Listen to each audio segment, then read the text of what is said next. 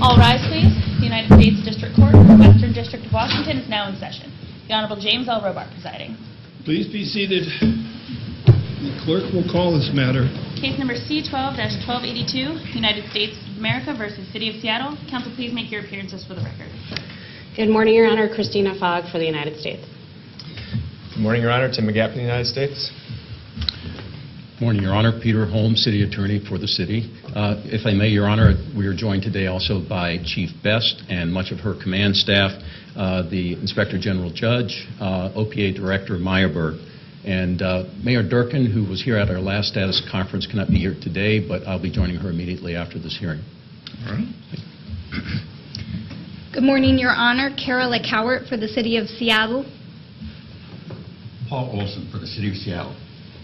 Good morning, Your Honor. David Perez, Perkins Coie for the Community Police Commission. Welcome, council. The reason that I asked you all in today was to uh, orally advise you concerning the status of full and effective compliance as defined under the consent decree, um, and also uh, offer some observations and comments which will help you understand uh, the reasons for my decision. So let us begin with a little bit of history for those of you who have not uh, spent a lot of time on this. In December 2011, seven and a half years ago, the Department of Justice released its report concerning the Seattle Police Department. In July 2012, the United States filed a complaint naming the city of Seattle and simultaneously filed a settlement agreement and a stipulated order of resolution. Those were taken under advisement by the court, and on September 2012, uh, the settlement agreement was approved. because it makes a difference in what I say in the course of these remarks, I'll note that as part of that consent agreement, there are two phrase, phases mentioned. One is phase one, which is uh, after the attainment of full and effective compliance with the terms of the consent decree. And then phase two, which is a requirement that the city maintain compliance for a two-year period. In June of 2017, the City Council adopted what we have taken to calling the Accountability Ordinance. In January 10, 2018, um, I entered an order finding full and effective compliance with the consent decree, except carving out one area which we were unable to determine full and effective compliance.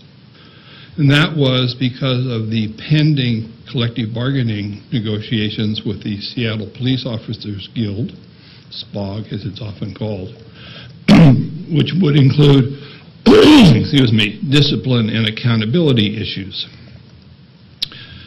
On March 13, uh, 2018, uh, I entered an order approving the sustainment period plan, which were a series of assessments of compliance with the consent decree, which were to be completed during this period of full and effective compliance. Most recently, um, of significant events, November 2018, the city and SPOG reached agreement on a new collective bargaining agreement, which we many times call a CBA. On December 3, 2018, I issued an order to show cause concerning the question of was the city out of compliance, full and effective compliance, due to the CBA's rejection of reforms that were included in the accountability ordinance. As I will more fully describe today and in the written order which we will be filing, um, the city find, or the court finds as follows. The court finds that the city has fallen partially out of full and effective compliance with the consent decree. The court does not find the city has fallen out of compliance in any of the areas listed in the Phase 2 sustainment plan that are covered by the pending audits. And the court is still hopeful that the city can complete these assessments and discharge those areas of the consent decree within the pending two-year sustainment period. The court, however, does find the city is out of compliance with the consent decree in one area of responsibility, namely accountability. With respect to this area, the city will need to come back into full and effective compliance with the consent decree and then maintain that compliance for two years. For those of you who don't follow this as carefully as some of us are required to do so, basically where we are today is that much has been accomplished and less remains to be done, but what remains is both required and very important. For the first topic then that I'd like to cover is the status of the assignment areas, uh, sustainment areas. For the parties' convenience, they have tended to group them into 10, uh, and I'll briefly touch on each of them. The first three are what probably got us here in the first place, which was use of force. Those areas include force reporting and investigation, the Force Review Board, and the Type 2 Force Investigation Area. I find that there has been improvement and continues to be full and effective compliance with the consent decree in those areas. Much of the change that the court has observed in the Seattle Police Department is the data analysis platform that has been adopted. And not without issues, and not without continued uh, encouragement, but it has made a significant difference. We know that there is less use of force. We know that crisis intervention and de-escalation have been part of that. We know that the force investigation teams have been performing. In terms of the Force Review Board, the areas of Type 3 force and some types of Type 2 force have been brought to the forefront. And the city has, or the police department has concentrated some of its attention on the question of Type 2 force investigations. Therefore, I find that full and effective compliance continues in those areas. Another area mentioned in the uh, sustainment plan is that of community confidence. I think it is extraordinary that in the most recent polling that has been done, that the police have achieved a 74% approval rating. That's a remarkable number, not only in terms of this department, but also on a nationwide scale. I am the first to acknowledge that there is a disparity among racial groups in its approval of the Seattle Police Department. Uh, I don't, however, find that surprising given that that is a trend that exists across the United States. I think it is significant that 85% of the calls, of the encounters that the Seattle Police Department have, occur when an officer is dispatched by a 911 call, 911, which is contrary to the no suspicion stop and frisk approach taken by some other departments. I therefore find full compliance and effective compliance in regards to community confidence. The Office of Public Accountability is another one of the sustainment areas. Um, OPA is managed by Director Myerberg. They seem to be doing a very good job, and I find full and effective compliance. The fifth area is crisis intervention and use of force. this is perhaps the most remarkable accomplishment of the Seattle Police Department, and it is one that they deserve a great deal of credit for. We know that the data analysis platform gives us a much better sense of the populations that we are dealing with. And I know that the training which has been deployed in the concepts of de-escalation, while not universally well received, um, have worked, and it is now a national model on how to proceed. Therefore, in terms of crisis intervention and use of force, I find full and effective compliance. Sixth category is that of supervision. That has been an issue that we have tackled since the start of this. There are two things that I believe have made a significant difference in terms of that. One is the patrol staffing approach. Secondly is better training in supervision. And third has been an increase in the number of sergeants that are available to supervise. I find that in the area of supervision at this time, the city and the police department are still in full and effective compliance.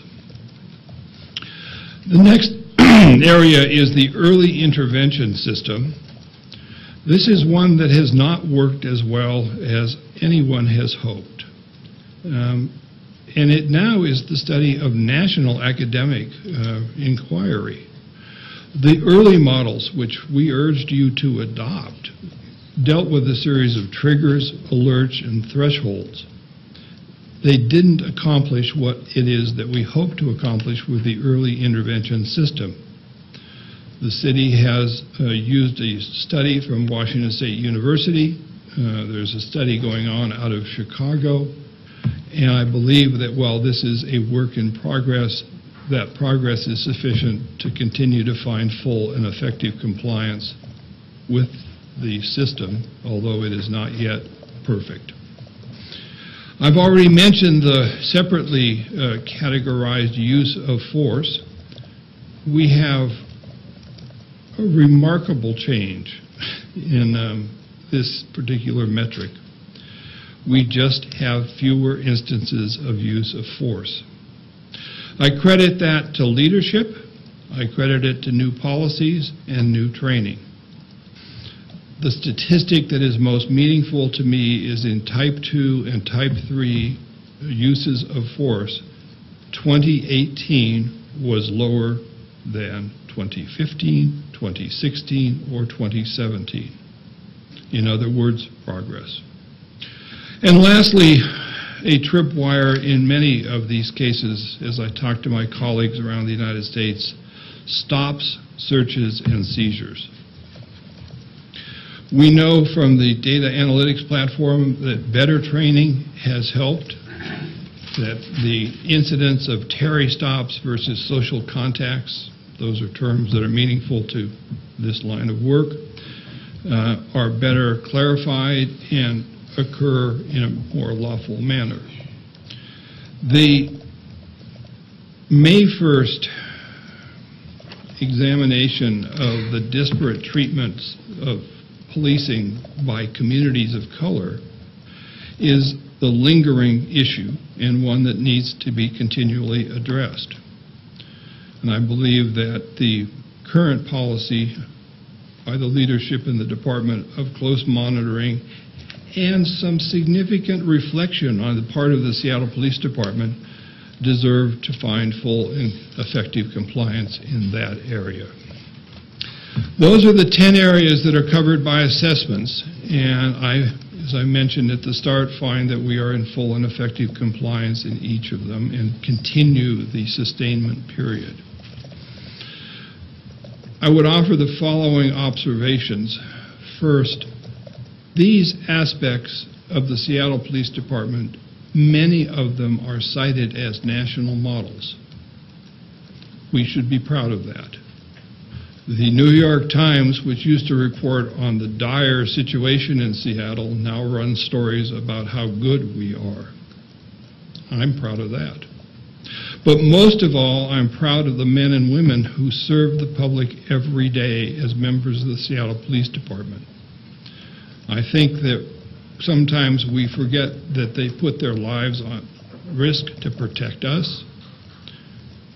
That's not always been the case, um, but it is now the subject of great pride that we have as good a police department as we do. In order to give you some sense of where we came from, um, I have compiled a short history lesson here. And I would ask you to join me in traveling back to 1996. In many ways, this is the start of the modern Seattle Police Department. The question at issue was Seattle Police Officer Earl Sonny Davis. Then Seattle Police Chief Norm Stamper was the subject of sharp questioning by the City Council as to why it took two and a half years for a case of allegations against two homicide detectives to be subject to a full review. The facts were that $10,000 was allegedly stolen by the veteran homicide detective, Mr. Davis, and there is, the next day, uh, arguably accompanied by his sergeant, um, they returned the $10,000 which was stolen. There were at least eight other detectives and officers who were aware of those allegations, and they learned of them in 1996 and 1997. What happened after that was the mayor decided that we needed to have a commission. we are very fond of commissions. Um, charges were filed against Mr. Davis and also uh, his sergeant uh, for allegedly helping Davis to return the money. Um, according to prosecutors and the accounts from that time period, Mr. Davis' partner, Mr. Steger, Officer Steger, never filed a formal report and basically nothing was done. Um, that's interesting because uh, there was a conversation between Mr. Steger and Sergeant Robert Gibo of the Internal Investigation Section in 1997.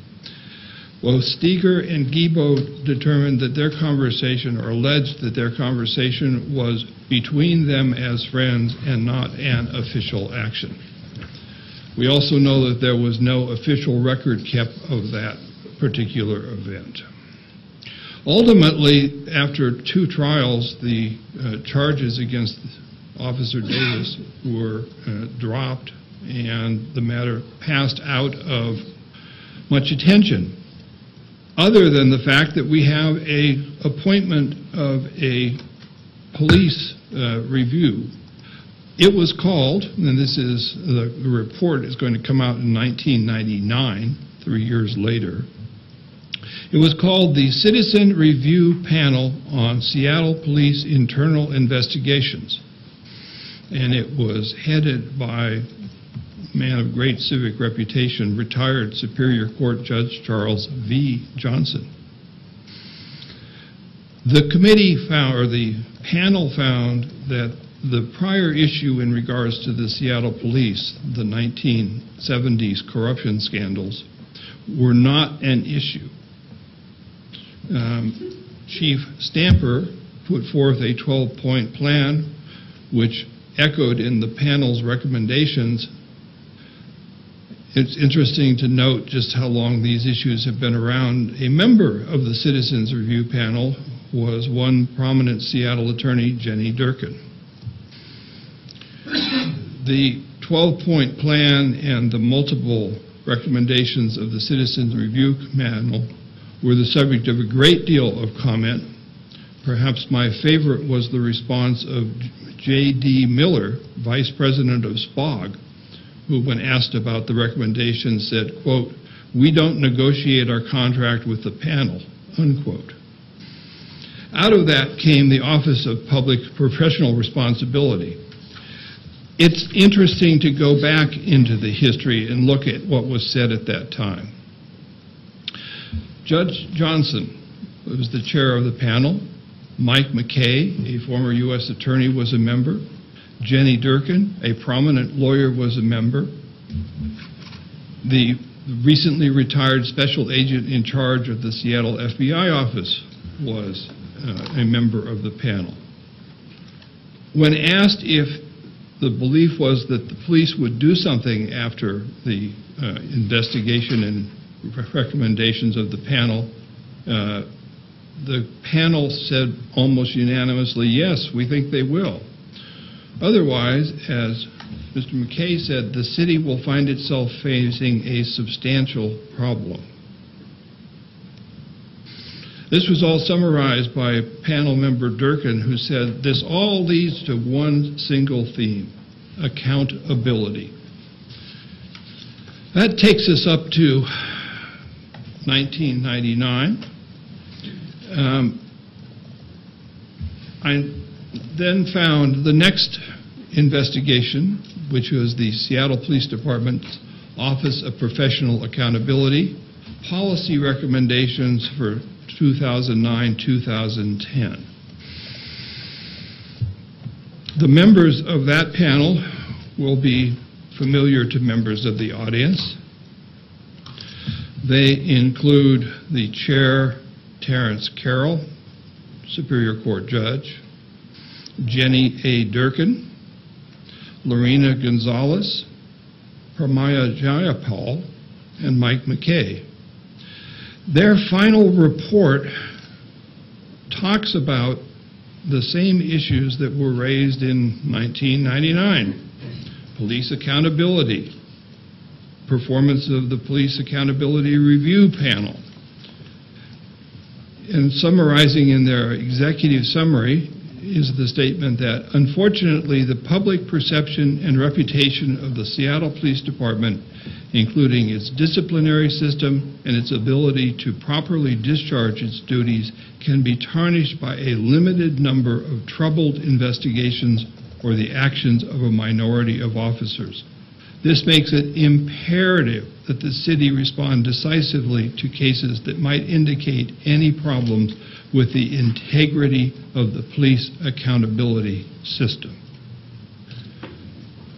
This is the report from 2009. The questions that um, the basis of the recommendations that were made in regards to the OPA, uh, the OPA Review Board, came down to one final recommendation, and I quote, all the panel's recommendations the city deems as not requiring collective bargaining prior to implementation should be implemented without delay. Any recommendations the city deems to require collective bargaining before implementation should be at the top of the city's agenda at the bargaining table. If agreement cannot be reached, the city should take the applicable proposals to arbitration with panel members available to assist as witnesses. In addition to the fullest extent of the law, existing aspects of the police accountability system endorsed by the panel in this report must be vigilantly protected from erosion at the bargaining table.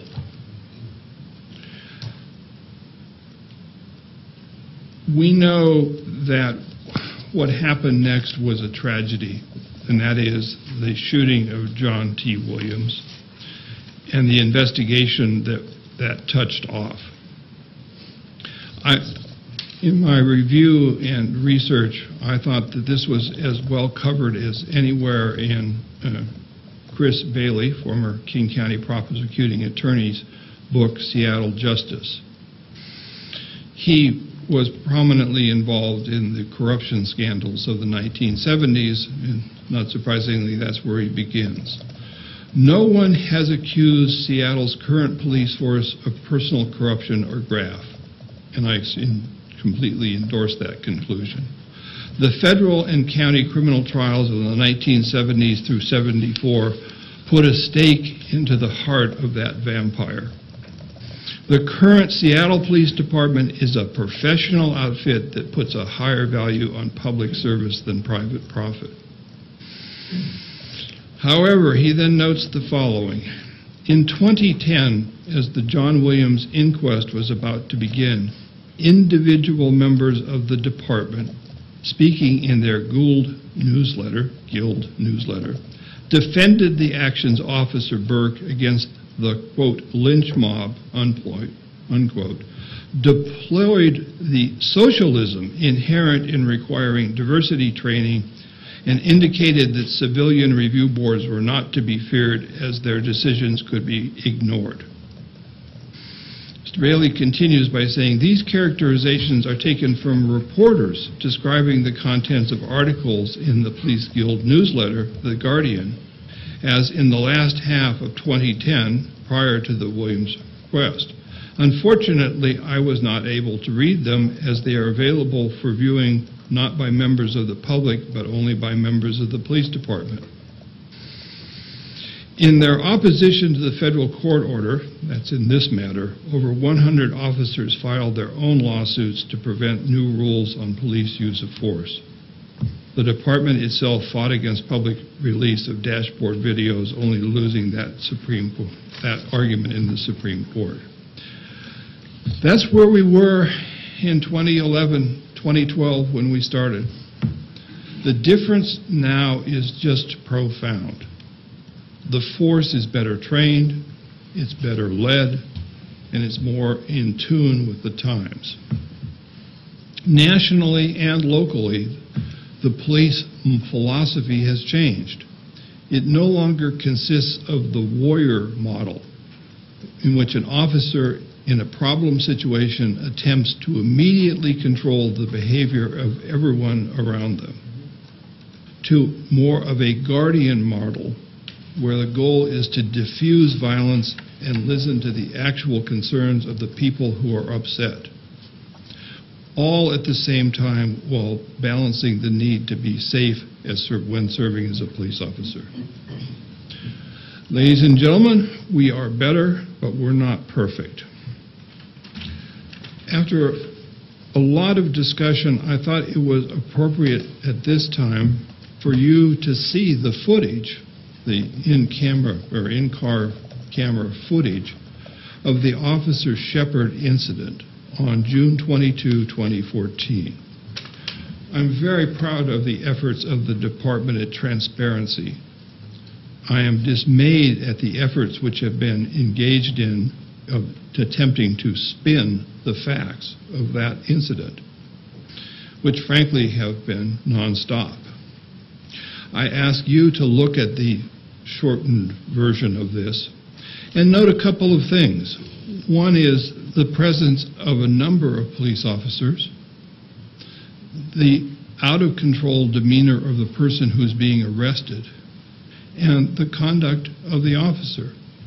In other words, see it yourself, see what you think. Right? Okay, this is what's going to happen. This is what's going to happen, okay? My patience is done. Okay. It's done. It's it's over. So somebody's going to go to jail. Who's it going to be? Who is it Nobody gonna- touched man- anybody. It doesn't matter. It So doesn't how are you going to take anybody You to jail if nobody touched you anybody? threatened to come Officer over here. I didn't threaten anybody threatened unless you have. Do you have it You on paper? Okay. Do- please don't touch me. Please don't touch me. Please don't touch me. Roll over. Please don't touch You're me. under arrest. Why am I under arrest? Why am I under arrest? under. But don't. Can you tell me why I'm under arrest? Can you tell me why I'm under arrest? I'm calm. I'm calm. I did not make a threat. I did not make a threat. Well, that's what she said. You made a threat. I did not make a threat. Bring it up. Miss Shelby, I really made a threat? I made a threat? That's crazy. That's crazy. Like, seriously? I did not make a threat. I did not make a threat. I did not make a threat. Can you please document your threat? Can you please document your threat? Because I never made a threat. Like, seriously? No, seriously. Okay, well, can Miss Shelby come confirm her threat? Because I did not make a threat. I didn't make a threat. And I'm. I I did not make a threat. I did not make a threat. put you in the- I did not make a threat. Officer Chauffeur, like seriously, did I make a threat? But did I make a threat? But did. I make a threat? No, like seriously, can you please document Get in the car. I'm not gonna get in the car police because I did not make a threat. I did not make a threat. I really did not make a threat. No, please talk to me, please. I did not make a threat. How are you gonna arrest me and I did not make a threat? What, what we're gonna do is we're gonna take you down to precinct. How are you gonna take me down a precinct and I didn't even make a threat? You need you to calm down. I'm calm. You're trying to de-escalate here. You're you're you you're escalating this by fucking bitch. You kicked me. Kick me. Because you fucking it's cool. It's cool. It's There are a couple of things that are significant to the court in that. The first is the young woman is handcuffed on her back in the back seat of a police car with a bunch of officers standing around her. She kicks the officer and then there's a pause, and then he comes back into the car and he punches her in the face. That resulted in a disciplinary action taken by Chief O'Toole, as was their right. The officer and Spog proceeded to appeal that.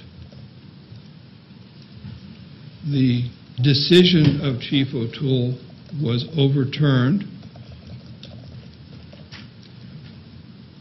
and the officer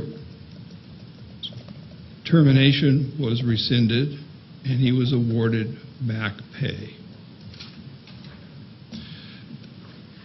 The briefing in that case changes from case, from forum to forum. The Loudermill hearings say one thing, the arbitration says another. The court today doesn't need to decide if who is right and who is wrong. Instead, it asks the question if a labor arbitrator whose livelihood is based on her continued selection should have the ability to overturn the decision of a respected, trained, experienced chief of police. That's what the collective bargaining agreement addresses by going back to this particular system. The questions that the court asks are, does this fully comply with the Constitution and the laws of the United States? Second, does this ensure public and officer safety? And third, does this promote public confidence in the Seattle Police Department and its officers? My decision today is not about Officer Shepherd. It is about the changes to the accountability procedures that are found in the collective bargaining agreement so as to weaken the system that was established in the accountability ordinance. But that's not the ultimate question to me. The question is, does it so weaken the system to be a violation of the consent decree? The court finds that they do. I would like it very clear, because this has been a point of a great deal of confusion in the minds of some people. The court does not reject the collective bargaining agreement. Most importantly, the increased compensation of officers continues. The Inspector General and the Office of Police Accountability are preserved. But it is issues like the standard of proof in labor arbitrations, the 180-day timetable, which is alleged to basically be there to help officers avoid discipline, and the narrowing of the subpoena power of the OPA are concerns of the court. It is now up to the parties to show the court that the discipline and accountability procedures negotiated in the CBA meet constitutional muster. A system which produces decisions like the Shepherd decision is challenged to do that.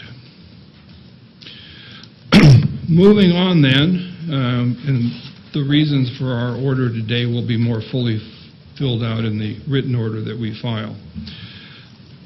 In the last two or three months, um, the Seattle police have been subject to a great deal of comment concerning Seattle's homeless situation and the conditions of the downtown area.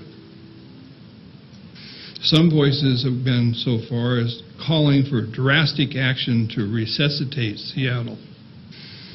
So let's get a couple of things clear about the court's view of what the Seattle Police Department can and should do. Some percentage of Seattle's homeless are in that condition due to personal financial events. We do not arrest people because they lost their home or their apartment. Some percentage of Seattle's homeless are mentally ill.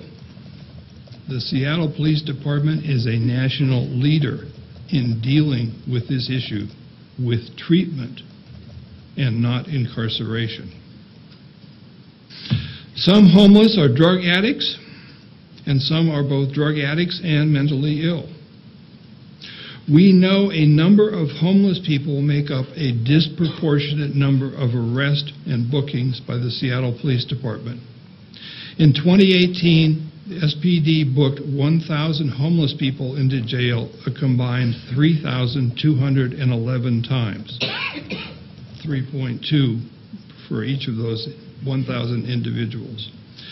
That represents 20% of the 2018 bookings, despite the homeless making up approximately 1% of the city's population.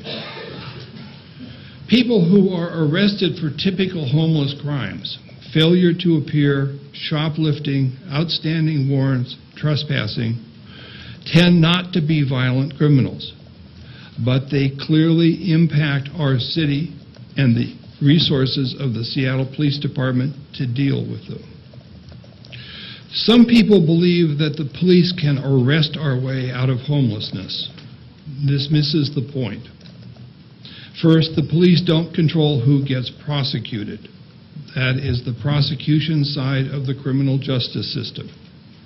Secondly, it prevents the Seattle Police Department from dealing with the people who are, need to be taken off the street the drug dealers, the violent criminals, the people who commit thefts, assaults, and robberies. It can be politically expedient to assume that a handful of anonymous police officers speak on behalf of the 1,200 or plus members of the SPOG and of the Seattle Police Department. They don't. They don't any more than I do. The Seattle Police Department is part of the criminal justice system.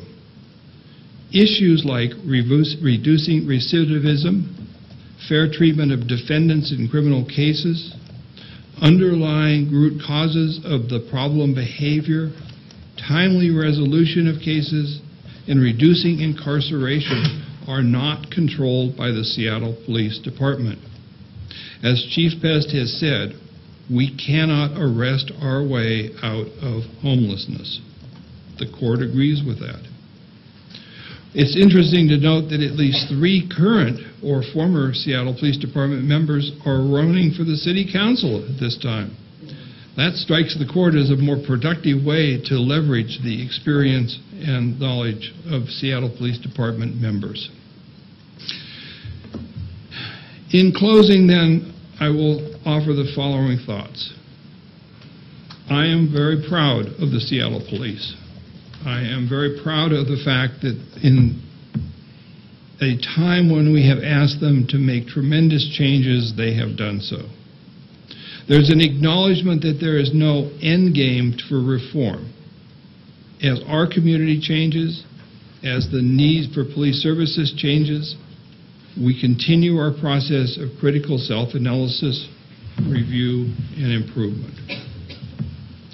The men and women of the Seattle Police Department have worked hard to achieve full and effective compliance with the federal consent decree. They have been subject to an unreasonable, perhaps, level of attention from me as a federal judge, and I'm proud of what they have accomplished. They've embraced new training, standards, and oversight mechanisms, in addition to paperwork, that deserve our thanks and admiration for what they've accomplished. Quoting from Chief Best's letter, I would leave you with these statistics. The data, published openly on the Seattle Police Department site, show the following.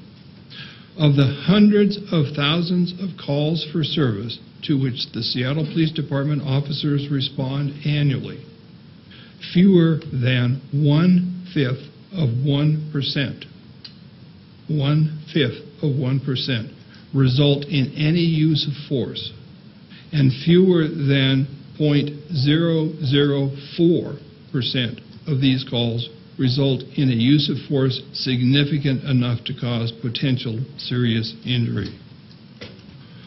We know we have got an increase in the number of calls.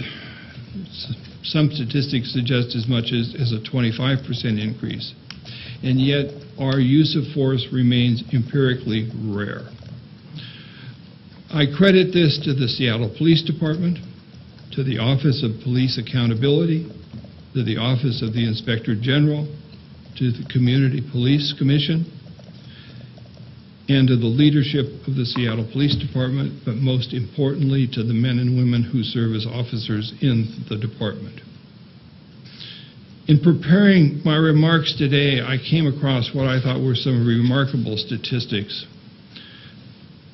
We know that Seattle at this point ranks as the most educated city in the United States. And that's especially true for people who have moved here recently.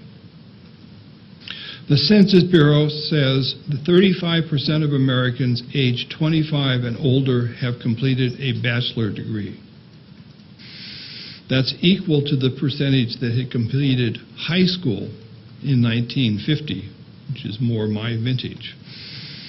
Not completing high school, but being born. As of 2017, 63% of Seattle residents had, excuse me, 63% of city residents aged 25 and older had a four-year college degree. Among the 50 largest cities in the country, Seattle is the only one to hit the 60% mark.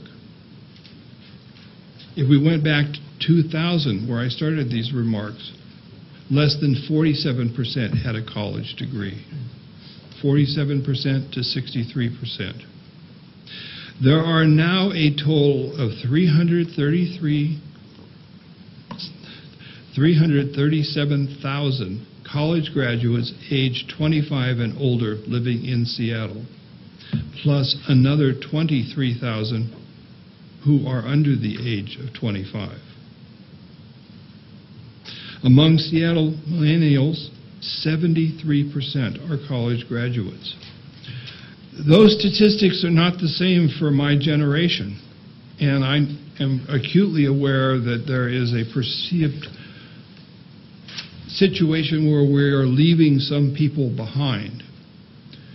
Uh, I don't know what we do about that. Um, I think we just have to be vigilant that we recognize that all types live in this city. But I would leave you with the following thought. Seattle is on the verge of becoming a first class major international city. To do that, our physical landscape is changing, the nature of our economy is changing, and the expectations change were the mayor here, she would be happy to agree that we have traffic issues, we have commute time issues, we have cost of living issues, we have homelessness issues. Please recognize that the role of the Seattle Police Department is in part to deal with certain aspects of those changes. The homelessness debate certainly has occupied a lot of time recently and I hope that it does not uh, deter us from examining the questions that we need to examine. I'm proud of the accomplishments of the department. I regret having to find lack of full and effective compliance in the area of accountability, but I now leave it up to the parties to show me that they are performing to constitutional expectations. That is the conclusion of the court's remarks. I'll ask counsel if they have anything they wish to say at this time. Um, Thank you, Your Honor, for sharing your thoughts and background on the order today, and I'll look forward to reviewing the written order with my colleagues. All right? Likewise, Your Honor, there's a lot here to digest, but we appreciate your time, and uh, we'll be carefully uh, perusing your order. Likewise for the Community Police Commission, Your Honor. It's, uh, Mr. Perez, your, your filings in, in regards to this question, I thought were well done. You, the CPC deserves commendation for, for doing that. Thank They you. were helpful to the court.